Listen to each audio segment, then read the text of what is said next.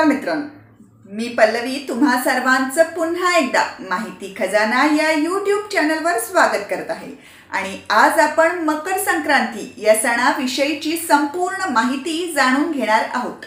ज्यात आपण हा सण साजरा करण्यामागचं शास्त्रीय व खगोलीय कारण. या उत्सवादरम्यान तिळाचे लाडू का बनवले जातात व वाटले जातात? या सणादरम्यान मुख्यतः काळे कपडे का घातले जातात? पतंग का उडवली जातात व इतर कोणकोणत्या प्रथा केल्या जातात या सर्वांमागची शास्त्रीय कारण. तसंच हा सण पूर्ण भारतात अगदी आनंदात साजरा केला जातो.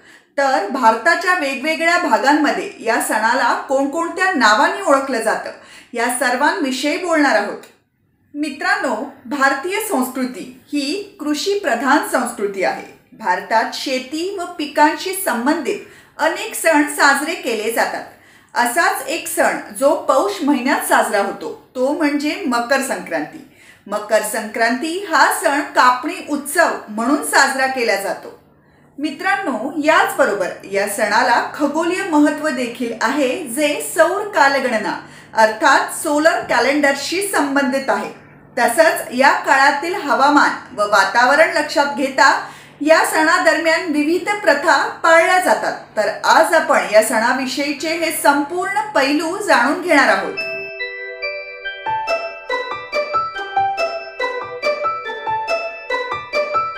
मित्रांनो मकर संक्रांती हा भारताचा मुख्य सण आहे. हा सण पूर्ण भारतभर व आपल्या काही शेजारी देशांमध्येही साजरा केला जातो.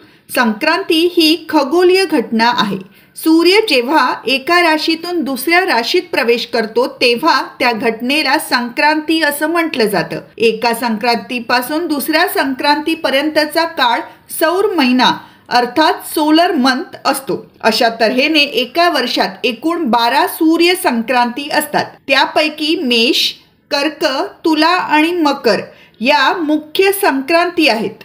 पौष महिन्यात सूर्य जेव्हा धनुराशीतून मकर राशीत प्रवेश करतो तेव्हा त्याला मकर संक्रांती म्हटलं जातं. या काळात सूर्याचा उत्तर दिशेला प्रवास सुरू होतो. म्हणूनच या पर्वाला उत्तरायण असं देखील म्हटलं जातं.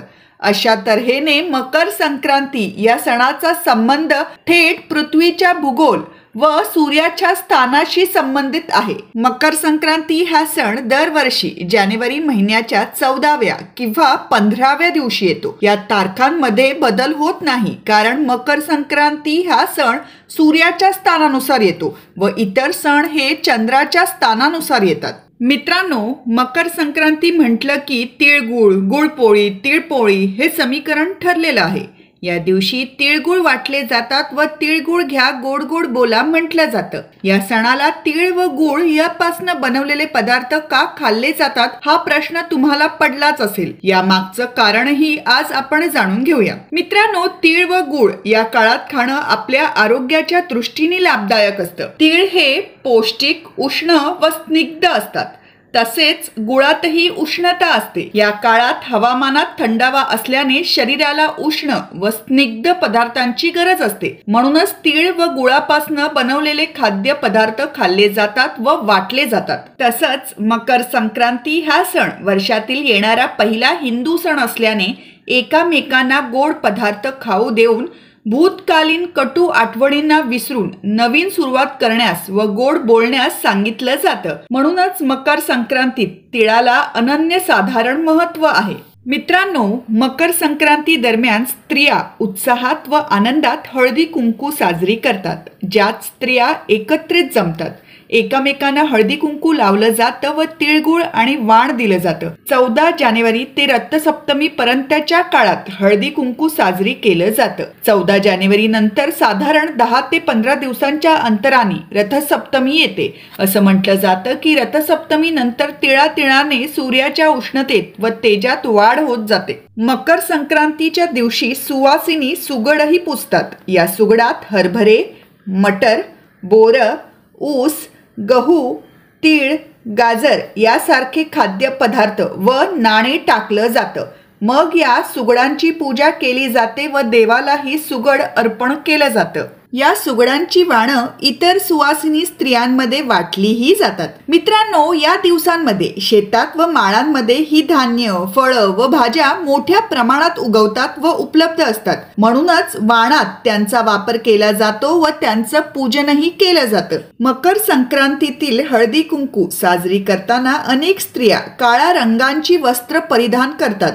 ज्यामागे देखील शास्त्रीय कारण आहे. ते म्हणजे या काळात असणारी थंडी. काळा रंग हा उष्णता शोषून घेतो. त्यामुळे शरीर उबदार राहण्यास मदत होते. मकर संक्रांती या सणादरम्यान हलव्याचे दागिने घालण्याची ही पद्धत आहे. नवीन लग्न झालेल्या नवरीची पहिली मकर संक्रांत हलव्याचे दागिने घालून साजरी केली जाते. तसंच लहान मुलांना देखील हलव्याचे दागिने घालून त्यांचं बोर नाणं केलं जातं. काळ्या कपड्यांवर हे हलव्याचे दागिने अतिशय शोभून दिसतात.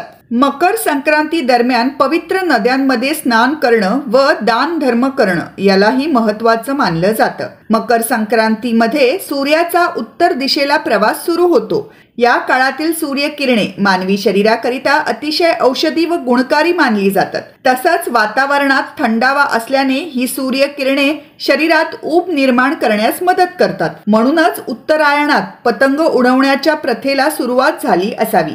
कारण यामुळे पतंग उडवण्यास लोक घराबाहेर पडतात व अधिकाधिक सूर्यकिरणांच्या सानिध्यात येतात. उत्तरायण हा पर्व गुजरातमध्ये खूप प्रसिद्ध आहे ज्या दरम्यान सर्वत्र पतंग उडवली जातात. इतकंच नव्हे तर पतंग उडवण्याच्या मोठ्या स्पर्धाही आयोजित केल्या जातात. मित्रांनो मकर संक्रांती हा सण भारताच्या वेगवेगळ्या प्रांतांमध्ये विविध नावांनी व प्रथेंनी साजरी केला जातो. उत्तर प्रदेश व बिहारमध्ये हा सण खिचडी. तमिळनाडूमध्ये पोंगल गुजरातमध्ये उत्तरायण महाराष्ट्र व गोवामध्ये मकर संक्रांती पंजाबमध्ये लोहरी आसाममध्ये बिहू कर्नाटक केरळ व आंध्र प्रदेशमध्ये संक्रांती या नावांनी ओळखला जातो. मित्रांनो मकर संक्रांती हा सण भारताच्या विविध भागात विविध नावांनी जरी ओळखला गेला तरी देखील या उत्सवाद्वारे नवीन पिकाचा आनंद व सूर्याचा मकर राशीतील प्रवेश आणि उत्तरायण प्रवास साजरा केला जातो. मित्रांनो तुम्हा सर्वांना मकर संक्रांतीच्या खूप खूप शुभेच्छा.